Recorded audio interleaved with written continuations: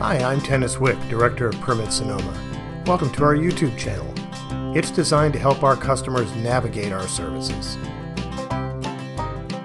This video, Riparian Corridor Zoning, explains the importance of riparian corridors and what you should know if your property is in one.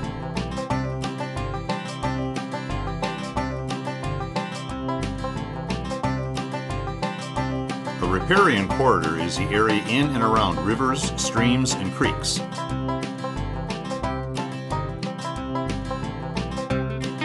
A healthy riparian corridor supports a unique and native plant and wildlife community. Provides recharge of the groundwater. Filters water before it gets into the stream. Reduces flooding. Keeps soil in place and prevents erosion provides aesthetic enhancement to the surrounding area, supports healthy fisheries and other aquatic life, and provides important migration corridors for wildlife. This map shows the three different riparian corridor setbacks in Sonoma County. 50, 100, and 200 foot setbacks that establish the protected areas.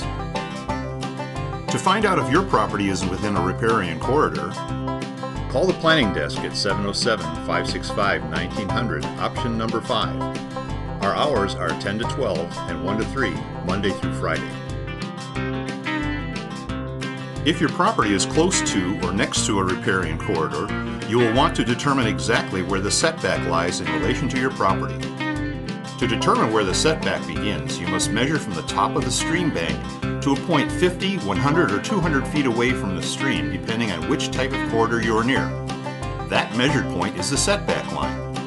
If you need help making this determination, please call us. Everything within the setback line is a streamside conservation area and the reason for riparian corridor zoning. If your property lies within a riparian corridor, the following activities are generally not allowed.